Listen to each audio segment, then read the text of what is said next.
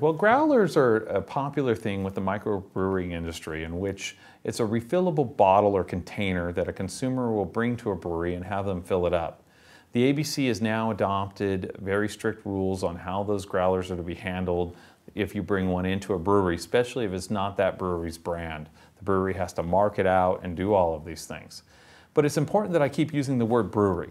In California, the only uh, retailer that can fill alcoholic beverages, and they're actually a non-retailer, is a uh, brewery uh, for beer. So in other words, in other states, there are retailers are allowed to, to fill up. You can go into a bar and they'll have 50 beers on tap, and you can have them fill up any one of those beers. They can cap it off, and out the door you can go. In California, licensed restaurateurs and bar owners are not allowed to package beer.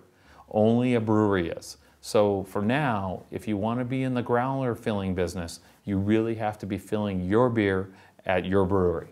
There are some limited exceptions to that as it relates to um, beer that's produced and uh, produced for the brewery at another brewery, but is still being done under the brewery auspices.